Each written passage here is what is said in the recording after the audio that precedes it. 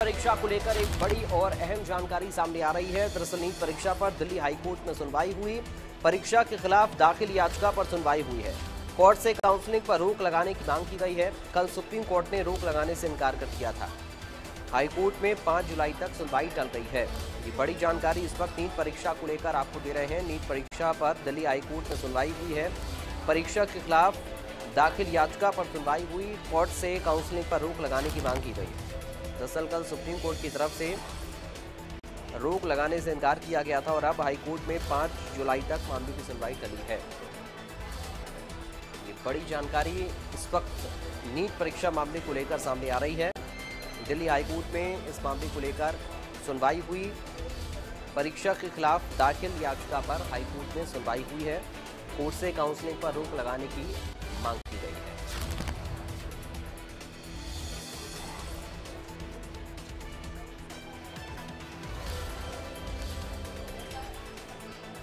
NEET परीक्षा पर Delhi high court में सुनवाई हुई है। परीक्षा के खिलाफ दाखिल याचिका पर सुनवाई की गई है। कल सुप्रीम कोर्ट ने रोक लगाने से इनकार किया था और अब हाईकोर्ट में 5 जुलाई तक मामले की सुनवाई चली है। ये बड़ी खबर सामने आई है। बड़ी जानकारी नीट परीक्षा मामले को लेकर इस वक्त आपको दे रहे हैं। दिल्ली हाईकोर्ट में सुनवाई हुई है। इस मामले को लेकर परीक्षा के खिलाफ दाखिल याचिका पर सुनवाई की गई है।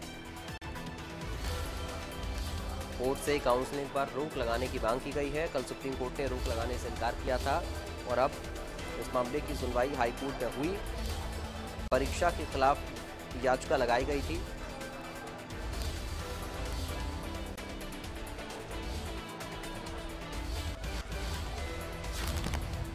और झज्जर में नीट परीक्षा के खिलाफ विरोध प्रदर्शन किया गया है। ये बड़ी जानकारी इस वक्त झज्जर से आपको दे रहे हैं, जहाँ पर इस परीक्षा के विरोध में प्रोटेस्ट किया गया है।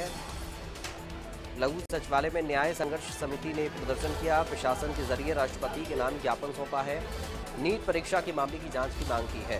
तो नीट परीक्षा का रिज़ल्ट आज के दिन सुर्खियों में बना हुआ है। जिन बच्चों के नीट परीक्षा में अच्छे नंबर आए हैं, वो बहुत खुश हैं, लेकिन जिन बच्चों की नीट परीक्षा में कड़ी मेहनत करने के बाद भी परिणाम बेहतर नहीं आए, ये उनके लिए चिंता का विषय बना हुआ है। नीट परीक्षा के परिणाम पर सवाल उठाते उठाए जा रहे हैं। जज्जर के लघु सचिवालय में न्याय संघर्ष समिति के सदस्यों ने पहुंचकर जिला प्रशासन के माध्यम से राष्ट्रपति के नाम ज्ञापन सौंपा।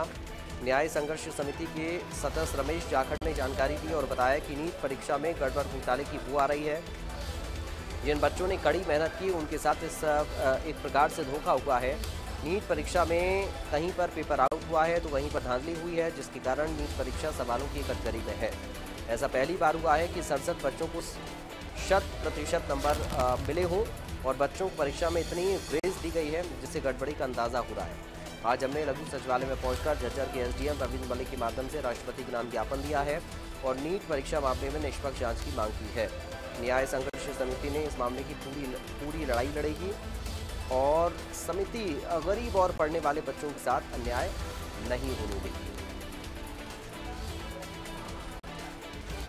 परीक्षा के जो परिणाम है उसके विरोध में हमने ज्ञापन सौंपा है एस साहब को और राष्ट्रपति नाम ज्ञापन सौंपा है। जब जो परीक्षा हुई थी क्या, पाँच मई को, उसमें भारी धांधलियाँ हैं। पहले एक बच्चा या दो बच्चा ऐसे होते थे जिसके शत प्रतिशत अंक आते थे। अब के बाद सड़सठ बच्चों के शत प्रतिशत अंक हैं। ये ये दर्शा रहा है कि घोटाला तो हो सकता है, पहले था नहीं था। लेकिन एक बड़े घोटाले की ओर संकेत है और ये संख्या लगातार आगे इसी तरह बढ़ती रहेगी।